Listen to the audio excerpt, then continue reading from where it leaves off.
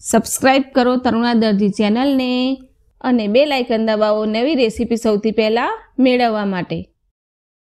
જો તમે પણ આવી એકદમ પરફેક્ટ રીતે ક્રિસ્પી જલેબી દશેરા વખતે, દિવાળી વખતે કે કોઈ પણ તહેવાર કે પ્રસંગમાં બનાવી હોય, તો વીડિયો આખી જરૂર જોજો. તો હેલો દોસ્તો, હું છું તરુણા દરજી. મારી ચેનલમાં આપ સૌનું સ્વાગત છે. આજે હું તમને શેર કરવા જઈ રહી છું એકદમ પરફેક્ટ રીતે જલેબી બનાવવાની રેસીપી. આ એકદમ બજાર જેવી જ અને બજાર કરતાં ચોખ્ખી બને છે. અને હું આજે એકદમ પરફેક્ટ માપ સાથે જલેબી બનાવવાની છું. તો વિડીયોને આખી જરૂરથી જોજો. જેથી કોઈ વસ્તુ મિસ ન થાય. અને રેસીપી પસંદ આવે તો વિડીયોને લાઈક કરવાનું ભૂલતા નહીં. તો ચાલો જલેબી બનાવવાનું શરૂ કરીએ. તો જલેબી બનાવવા માટે પહેલાં આપણે તેની ચાસણી બનાવી દઈશું.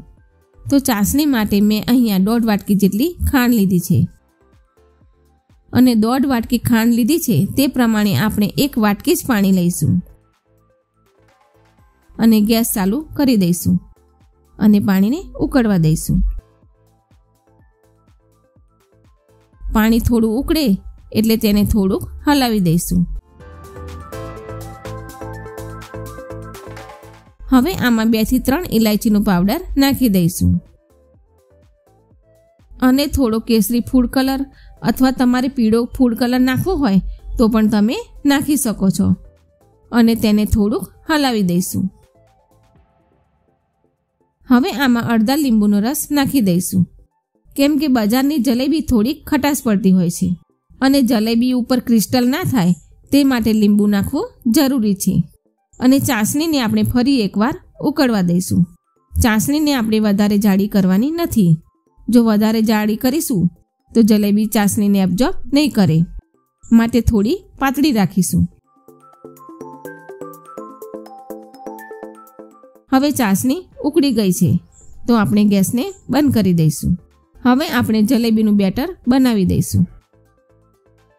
તો તેના માટે એક વાસણમાં એક વાટકી જેટલો મેંદો લઈશું. અને તેમાં બે ચમચી જેટલું ઘી નાખી દઈશું. અને અડધું લીંબુ નીચોવી દઈશું. અને આ બધું આપણે મિક્સ કરી દઈશું.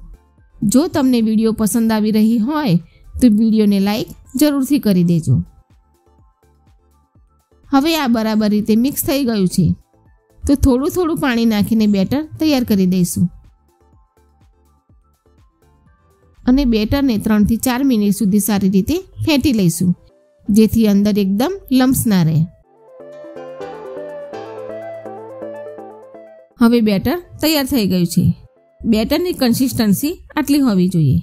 બેટર બહુ જાડું પણ નહીં અને બહુ પાતળું પણ નહીં. એ રીતનું આપણે બેટર રાખીશું. હવે આમાં એક ઇનોનું પેકેટ નાખી દઈશું. અને તેને બરાબર ફેંટી લઈશું. ઈનો અને લીંબુનું બંનેનું મિશ્રણ થાય એટલે આથો સરસ આવી જાય છે. હવે આ બેટર તૈયાર છે. તો આને બેથી ત્રણ મિનિટ માટે ઢાંકીને મૂકી રાખીશું.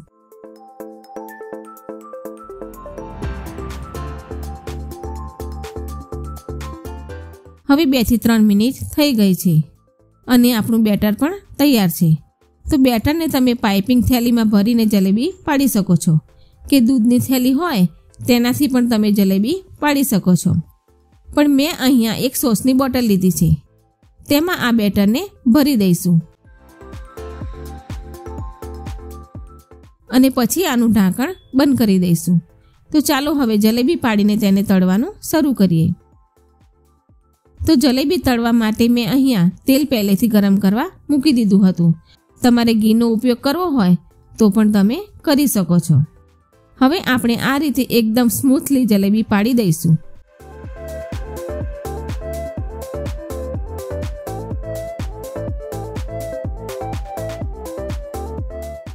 તમે જોઈ શકો છો કે જલેબી કેટલી મસ્ત રીતે ફૂલી રહી છે.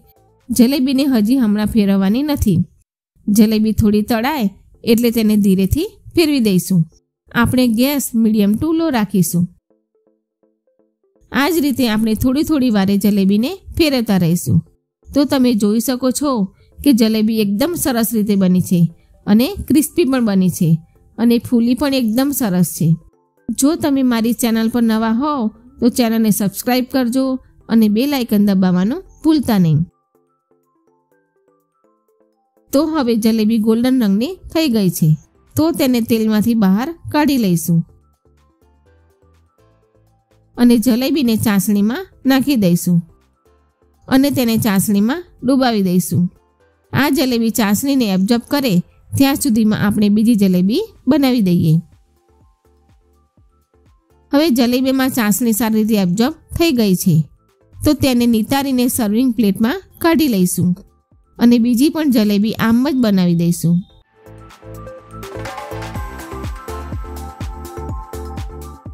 તો તમે જોઈ શકો છો કે જલેબી કેટલી સરસ દેખાઈ રહી છે અને એકદમ ક્રિસ્પી પણ બની છે. તો કેવી લાગી તમને ક્રિસ્પી અને ટેસ્ટી જલેબીની રેસીપી? કોમેન્ટમાં જરૂરથી કહેજો. અને જો રેસીપી પસંદ આવી હોય તો વિડીયોને લાઈક કરજો અને તમારા દોસ્તો સાથે શેર કરજો, જેથી એ લોકો પણ આનો આનંદ માણી શકે.